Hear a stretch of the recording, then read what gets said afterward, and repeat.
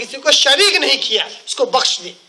تو اللہ تبارک و تعالیٰ کیا کرتا ہے؟ اس شخص کو بخش بھی دیتا ہے اور اچھی سفارش کرنے کے عوض سفارش کرنے والے کو ادر و ثواب بھی دیتا ہے۔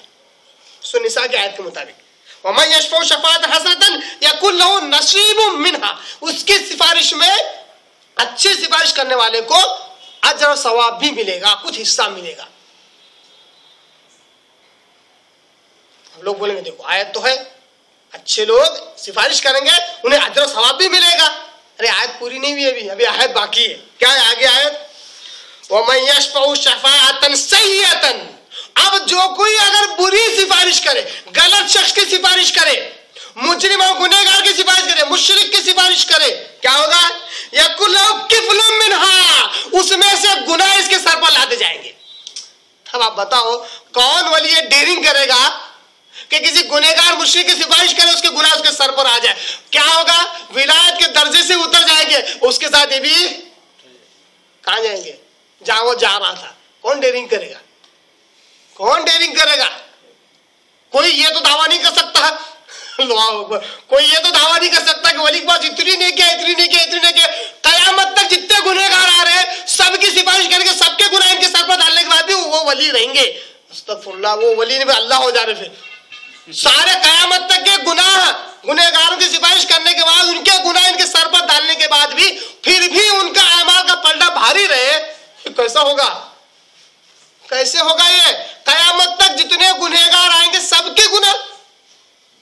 یا کلو کفلو منہا، اللہ کہتا ہے اس کے گناہ اس کے سر پر لاتے جائیں گے۔ گویا کہ غلط سفارش کرنا، کسی کا حق مارنا ہے ظلم بھی ہے، اس لیے اس کا بدلہ بھی دیا جائے گا۔ غلط سفارش کرنا کیا ہے؟ ظلم کرنا ہے۔ اس کا بدلہ اس ظالم کو دیا جائے گا جو غلط سفارش کر رہا ہے۔ گناہ اس کے سر پر لادے جائیں گے۔ وکان اللہ علی شعیم مقیتا۔ اللہ کیا کہتا ہے؟ اللہ ایسا کرنے پر قادر ہے جو برابر وقت پر اللہ تعالیٰ کرے گا۔ سورہ نساء کے آیت سے معلوم ہوا کہ یہ غلطی کرنا نہیں۔ کون سی؟ مجرم ہے، گنہگار بھی ہے، مشرک بھی ہے، تو کیا اولیاء اللہ سفارش کریں گے؟ کریں گے تو ان کو ولایت کے درجے سے نکال کر کہاں ڈالو گے؟ جہنم میں۔ اس لیے حقیقت یہ ہے کہ کوئی کرے گا ہی نہیں ان کی سفارش۔ مشرک کی سفارش کوئی نہیں کرے گا۔ صرف اور صرف موحد کی ہی سفارش ہونے والی ہے کل قیامت میں حشر کے میدان میں۔ اس لیے اگر آپ چاہتے ہیں کہ اللہ کے رسول آپ کے طرف سے سفارش کرے قرآن آپ کے طرف سے سفارش کرے روزے آپ کے طرف سے سفارش کرے نماز آپ کے طرف سے سفارش کرے انبیاء، بزرگان دین، فرشتے آپ کے طرف سفارش کرے تو کو موحد مرنا ہے مشرق نہیں مرنا ہے۔ اگر آپ مشرق مریں گے، کوئی آپ کا ساتھ نہیں دینے والا۔ چیلنج اس بات پر۔ قرآن اور حدیث سے چیلنج ہے۔ کوئی آپ کا ساتھ نہیں دے گا اگر آپ مشرق مرتے ہیں۔ آئیے، ایک حدیث دیکھ لیتے ہیں۔ جس سے سارا آخرت کا تصور ہمارے سامنے صحیح طور پر آ جائے گا۔ ساری سفارش آخرت ہی کے تھے آخرت ہی کے تعلق سے ہے نا؟ کہ آخرت کیا ہے؟ آخرت کا صحیح تصور ہم دیکھتے ہیں۔ یہ حدیث ہے، صحیح بخاری کی، اس کے الفاظ آپ کے آگے رکھ رہا ہوں۔ اس حدیث کا راوی حضرت انس بن مالک رضی اللہ تعالیٰ عنہ۔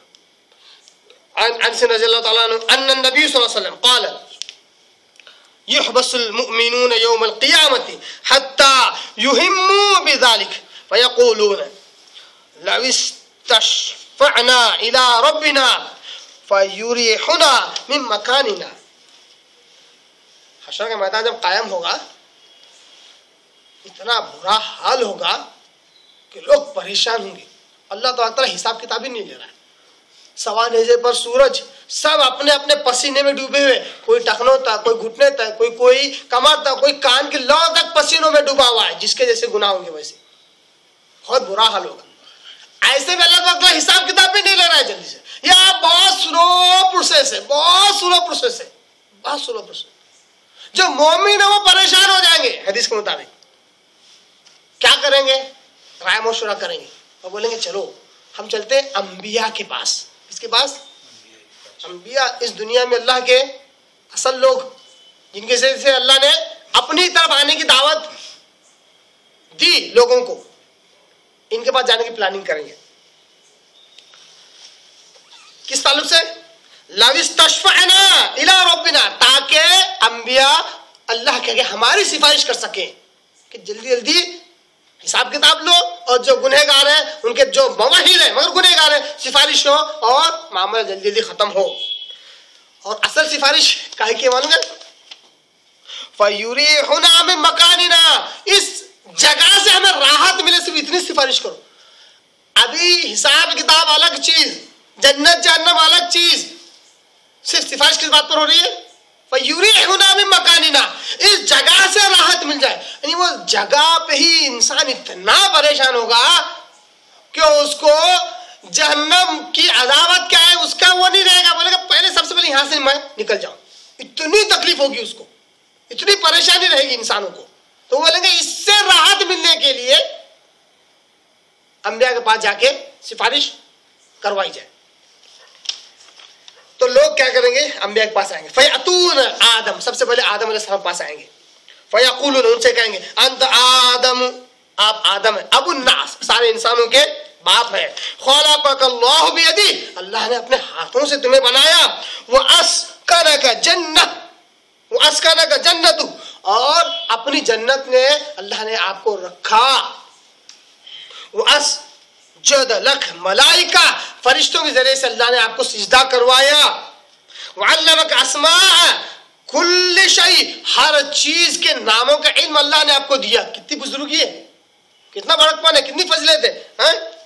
لتشفع لنا عند ربک حتی یریحنا من مکاننا لہذا آپ ہمارے، آپ کے رب کے آگے سفارش کیجیے ہمارے تعلق سے، تاکہ اللہ تعالیٰ اس جگہ سے ہمیں راحت دے۔